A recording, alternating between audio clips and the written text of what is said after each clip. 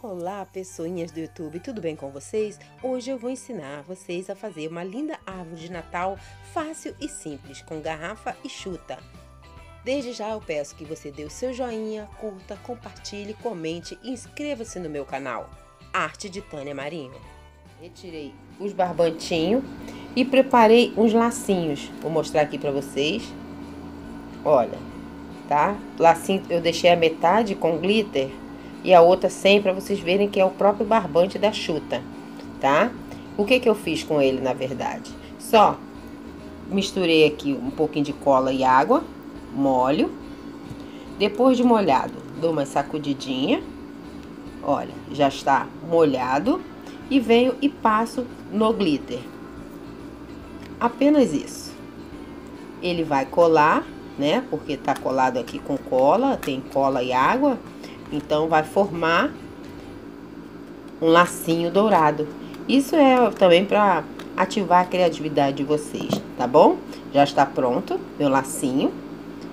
Aí eu coloco aqui para secar, que nem eu fiz com os outros. E pronto.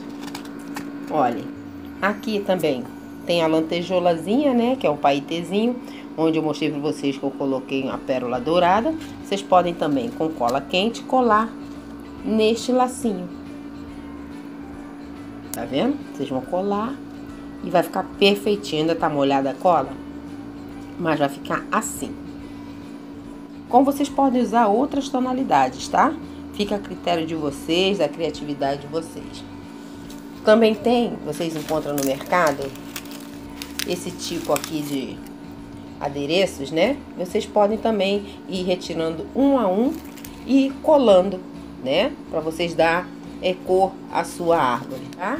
Vocês também podem decorar com laços que você já encontra no mercado, conforme muitos que já viram, né, o meu vídeo, os vídeos anteriores, vocês vão ver, né? Vocês também podem dar vida, né, com cores de laços diferentes.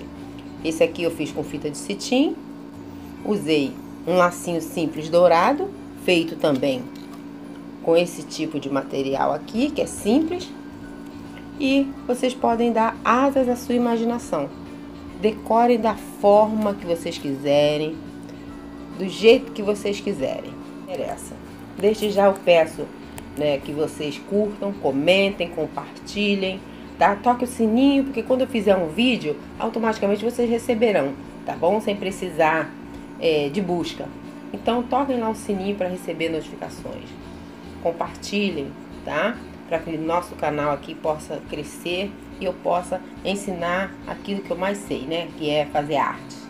E artes em geral. Bante que está saindo, tá? Porque na hora de fixar, vocês vão poder trabalhar com ele tranquilamente. Olha. Está franzido, tá? Essa forma que vocês vão deixar aqui, ó. Claro que eu já adiantei o processo, esse aqui é só um pedacinho só para demonstrar como foi feito o alinhavo, tá? Eu já fiz o alinhavo e vamos... Porque na minha garrafa tem uma medidazinha básica, tá? Então eu já começo aqui. Na primeira fileira você vai sempre reto. Passa a cola e vem dando um jeitinho na sainha da árvore. Vocês vejam que eu deixo ela mais que arrastando na mesa, tá vendo? Ó, Vamos lá, continuando. Só virando. Vai alinhavando, já está alinhavado, mas você vai dando forma à saia, tá? Por isso que eu não prendo e nem fixo no final de cada alinhavo, porque é na hora eu determino. Você vê que são vários pedacinhos de alinhavo, porque a minha chuta era pequena, eu fui só cortando os pedaços e as faixinhas mais ou menos de 7 centímetros. Passo cola. Aqui eu já acabo aqui dando um aspectozinho. Não se incomodem se não vai fixar, porque vai, tá? Muito fácil. Aí, Tânia, aqui como é que vai ser? Novamente, você pega o alinhavo aqui, faz a sainha, godezinha. Não sei se é godê, é godê, é godê. Vem aqui, passa a cola e vai fixando, tá? Lembrando que eu quero ela mais compridinha do que a mesa, tá? Para fazer uma saia bem longa. Já estamos chegando aqui ao finalzinho desse. dessa primeira fila. Vocês estão vendo que tá fixando. Aí aqui, pessoinha, já chegou ao final. Vou fixar. Eu só tô aguardando um pouquinho para dar tempo para não soltar, tá? Agora você vai subir. Vai subindo, tá? Rodando. Então, olha, já pego aqui, já dei a distância do que eu queria, franzi, joga aqui pra cima, seguro um pouquinho, solto, olha, vem a outra parte, olha a linha. Novamente, vou pegar aqui, vou franzir do jeito que eu desejo. Eu quero franzidinho simples, comum, mas quero bem franzidinho, tá? Passei cola. E assim vocês vão fazendo até o final. Girando colando e dando forma à sainha. Olha, fica muito lindo. Simples, fácil. Vou colar de novo. Vai. Olha, esse é o formato dessa nova saia. Lá vem de novo, colocar e anexo meu babadinho em cima. Aqui, vocês estão vendo que soltou da linha? Não tem problema. Você vai, simplesmente passa por cima. Gente, é muito flexível esse tipo de trabalho. Você pode consertar, você pode ajeitar. É imperceptível. Por quê? Um babado cobre o outro. E isso não é defeito, né? Aqui o fechamento de mais um. Não tem problema essas linhas aqui, porque elas vão saindo mesmo. Tá? Se vocês quiserem também, vocês podem passar cola antes de, do aviamento, antes de vocês costurarem a linha vale alinhavarem, vocês vão e, e já dá, já evita que saia. Mas eu acho que é só tempo perdido, porque vai soltando, você vai ajeitando. Ó, cheguei ao final, lá vamos subir novamente. Tô olhando a câmera, ver se tá indo, porque eu trago ela prontinha para que aqui no finalzinho vocês saibam como fazer, tá bom? O fechamento dela. Eu amo o que faz. Vou passando cola até por fora também, tá? Ó, pra dar forma ao franzido. Deixei esse finalzinho aqui pra terminar perto de vocês, para que vocês vejam o acabamento final, tá?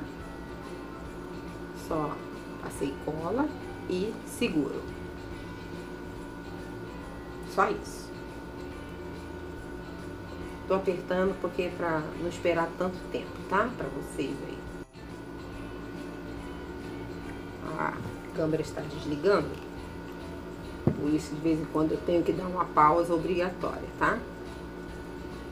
Está pronto. Vou tirar a linha do alinhavo. Fazer o acabamento aqui, a limpeza.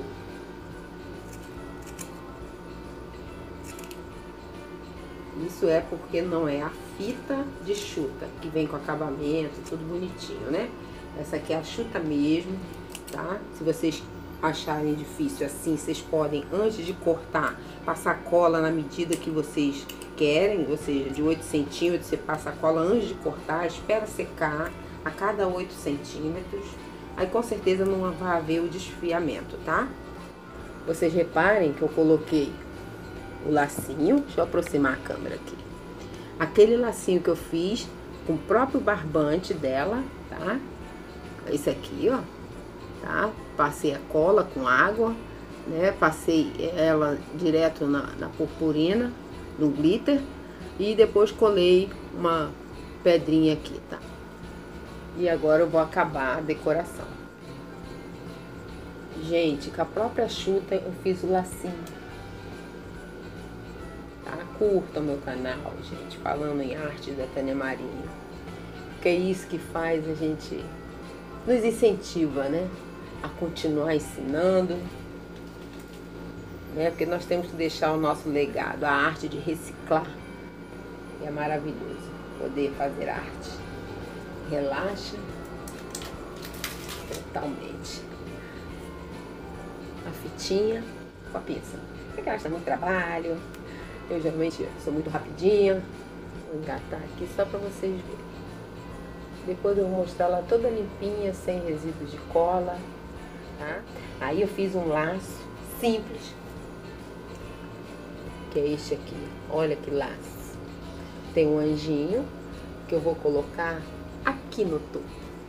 Olha. Tá? E já vou colocá-la agora. É que a minha maior dificuldade, gente, é que eu não tenho quem filme, né? Então, ainda é com celular. Deixa eu ver se esse lado é o melhor, né? Porque sempre tem um lado que sobressai mais. Ah, pra mim tá ótimo. Qualquer lado. Deixa eu ver só se tem algum lado sem acabamento. Ah, pra mim tá ótimo. E vou colar o lacinho. Olha, vê se não ficou um encanto. Ficou um encanto. Gente, a arte de reciclagem era aqui. Era apenas uma garrafa, tá? Que por sinal até esqueci de ligar o pisca-pisca. Esperem que eu vou ligar, com certeza. Bem, pessoinhas, terminado, cumprido mais uma jornada de trabalho. Minha árvore de Natal feita de garrafa, chuta, lantejoulas laços para vocês. Espero que vocês consigam fazer, porque é fácil, é simples. Aqui atrás eu dei um acabamentozinho com os laços. Aqui está o acabamento por trás, tá? Os três lacinhos. É maravilhoso. Terminar o dia fazendo arte. Curtam, comentem, inscrevam-se no meu canal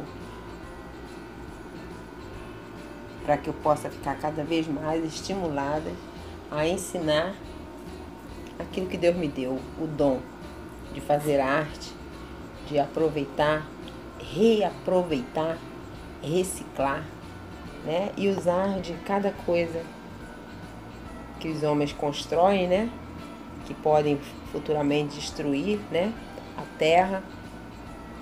Reaproveitamento total de material. É barato, é por metro que vocês compram. E não esqueçam de dar aquele joinha.